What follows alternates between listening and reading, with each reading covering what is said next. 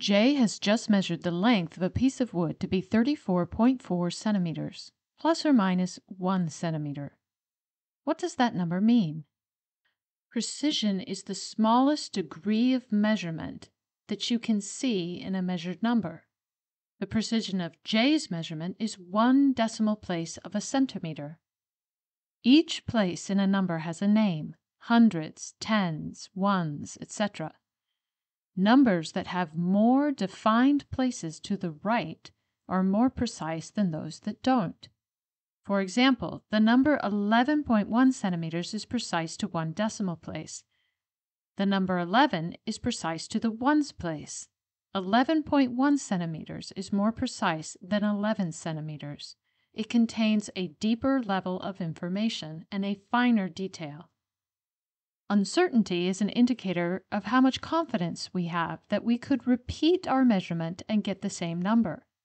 The precision and unit come from the instrument we're using, in this case, a ruler.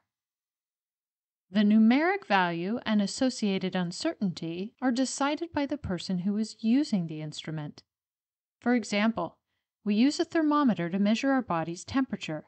We can see from the thermometer that the unit is in degrees Fahrenheit and the smallest measurement or precision possible is 0.1 degrees Fahrenheit. Let's blow up this portion of the thermometer to see that more clearly. The measurement 97.6 degrees Fahrenheit represents any measurement that lands in the colored zone that marks the halfway points between 97.6 degrees Fahrenheit and 97.7 degrees Fahrenheit above and 97.5 degrees Fahrenheit below.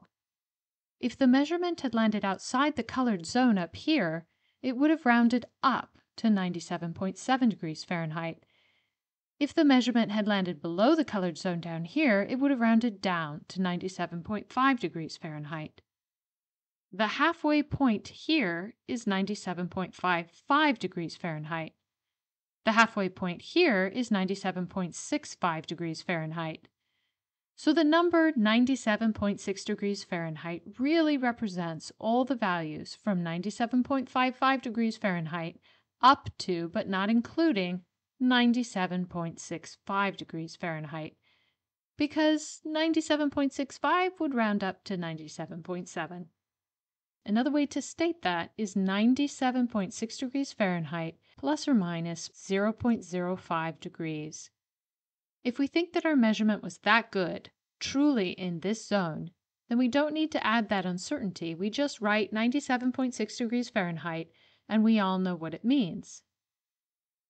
However, if the thermometer numbers were so small that we couldn't actually be sure we were reading the measurement correctly, or if the thermometer was moving around a bit and we got a different value if we looked at it a second time, we should add some extra uncertainty. For example, this image shows the thermometer with lots of tiny little lines, each separated by 0.1 degrees, too tight to easily read. Maybe the value is 97.6, but sometimes it looks as high as 97.8 or as low as 97.4. So we'll note that extra uncertainty in our final answer by writing 97.6 degrees Fahrenheit plus or minus 0.2 degrees Fahrenheit. In this case, the precision is one decimal place, and that's set by the instrument limits. The uncertainty is based on how well we can read the instrument, and that's plus or minus 0.2 degrees Fahrenheit. What happens when the tool we use to measure has a precision much greater than our uncertainty? For example, when we use Google Earth to measure a distance between two points, we get a precision of many decimal places, 9.443225 kilometers. But what if the two points that we're measuring the distance between are not very precisely located? When we take the measurement multiple times, we get multiple answers. There seems to be a fair bit of uncertainty, plus or minus 0.2 kilometers. Writing our answer as 9.443225 kilometers plus or minus 0.2 kilometers is kind of crazy because while the instrument measurement is precise to six decimal places, the uncertainty is precise to only one.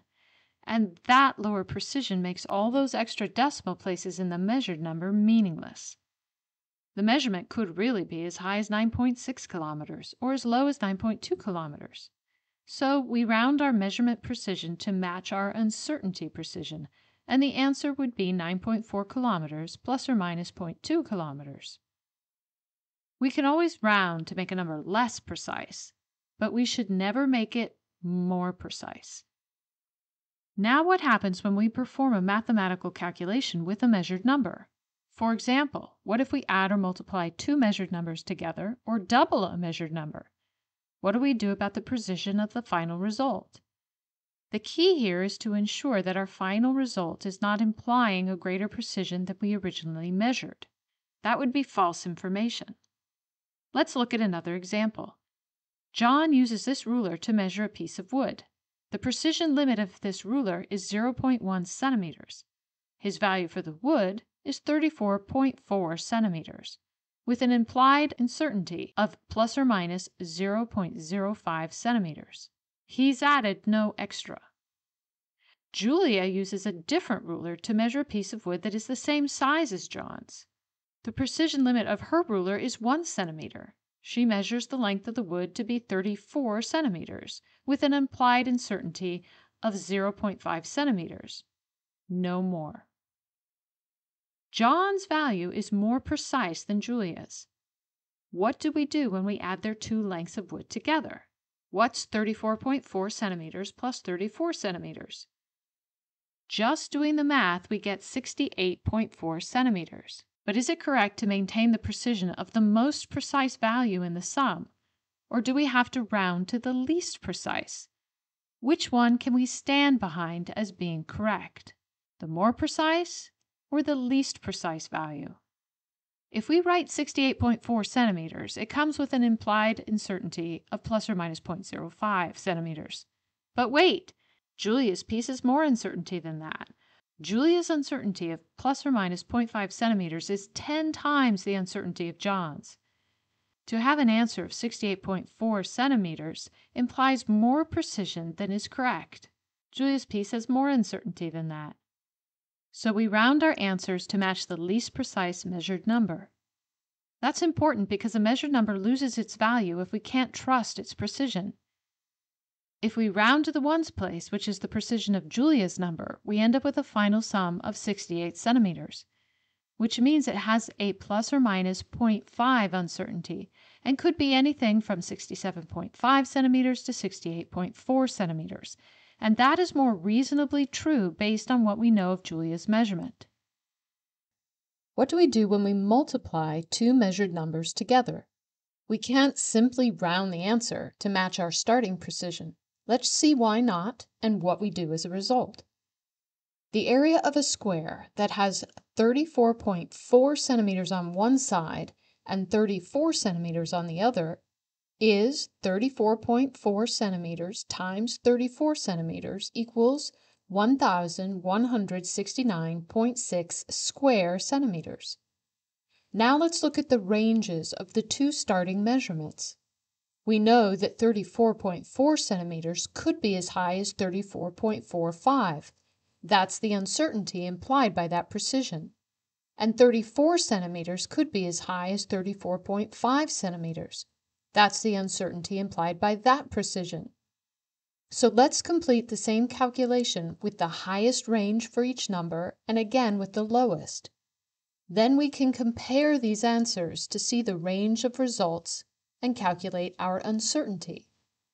This range of possible answers from 1150.725 to 1188.525 square centimeters are plus and minus about 19 or 20 square centimeters.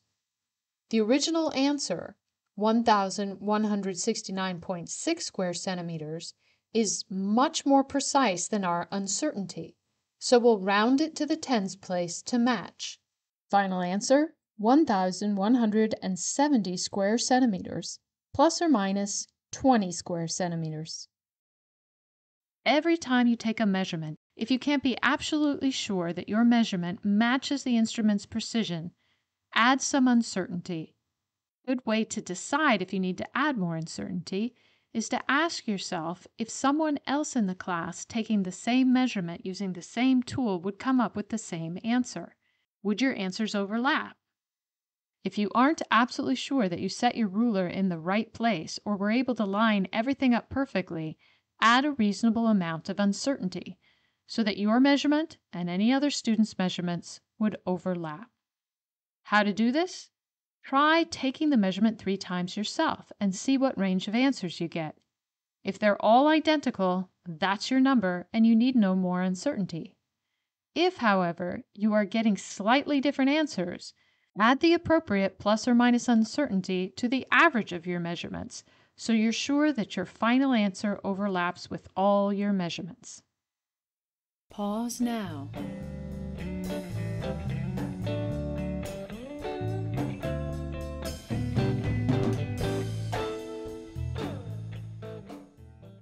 Pause now.